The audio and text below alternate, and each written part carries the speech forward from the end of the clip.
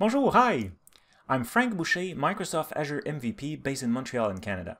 And today I want to talk about the ARM template. You shouldn't be afraid of them.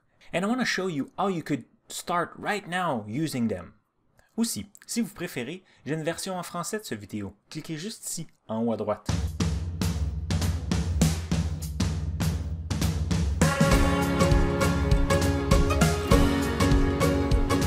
ARM template are a little bit monstrous.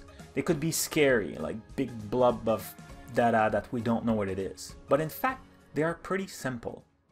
An ARM template stands for Azure Resource Manager, and they are in fact just a JSON file that describe the architecture of your project. Not the binaries, just the structure. The ARM template are really great. You define your structure and then use them with a parameter file. The two together could be deployed in many different environments, and you will change different parameters depending on the environment you're deploying in. So for example, I will have the same structure for my VM. However, the size of the VM could be a parameter, and based on that parameter, I will deploy a way smaller VM in a dev environment than in production. It will be the same structure, the same code, except the parameter will change the size of my VM. Also, when you deploy, Azure will do its best to parallelize as much as possible all the resources based on the dependency you define in the ARM template. So it's really the fastest way to deploy. ARM templates are also pretty easy to deploy. That's why they are so convenient for a DevOps practice. In fact, any text editor will be perfect for ARM templates since they are only JSON file. But I will show you three of the tools that I use frequently. First, you can go in the Azure portal and click on this big plus green icon, Create Resource, and search for Template Deployment.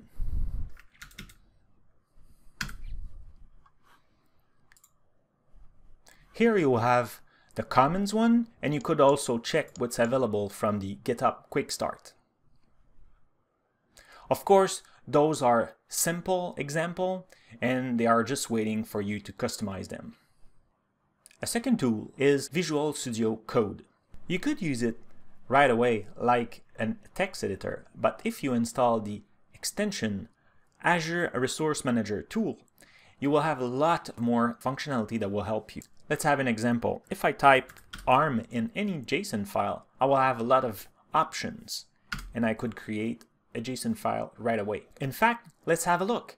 This is the ARM template at its simplest expression. It's a list of parameters, a list of variables, a list of resources, and finally a list of outputs. A very common mistake when we start doing ARM template is to have too much parameters. We put everything in parameters. This will make your ARM template difficult to use. You should instead use less parameters and leverage the variables and make smart choice in that section. To know more about the best practices on the ARM template, you should have a look to my other videos. I will put the link in the description. Another tool to play with ARM template is of course the Visual Studio IDE, or like I call it, the big Visual Studio. To create an ARM template, when you create a new project, you will go in the section Cloud and click the Azure Resource Group and click OK. Let's you you could start right away with many different options, but for now let's click an empty one. And there it is. We have our projects. So for us, Visual Studio create an empty JSON file, a parameter file that is in fact another JSON file, and a PowerShell script to deploy.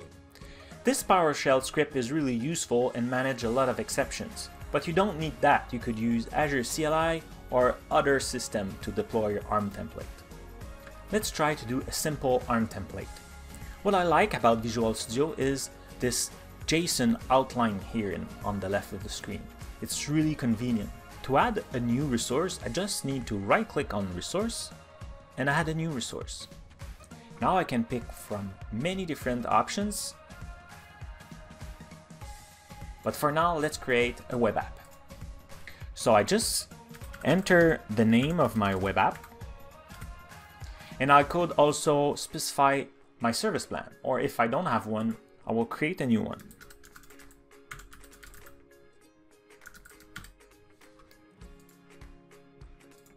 And just like that, I have now two resources that have been added to my ARM template. Again, with this tree view here, I can navigate quickly between the resources and even see that I have now a variable and two parameters that have been created. The only thing left now is to deploy it. So to deploy it, of course, I could use the PowerShell script or I could even just right click and deploy. Very convenient. So the best way to get started with ARM template is to start little. Take a simple VM or a web app or a database, keep it simple and deploy that. And try to understand what's happening and add more component, more resources in it. That way will be much easier to deploy. If you would like to know more about the ARM template, you could watch this other video where I explain the best practices. Or you could watch here another video of Cloud in 5 minutes. I hope you liked this video and I hope it was useful. See you next time. Thanks.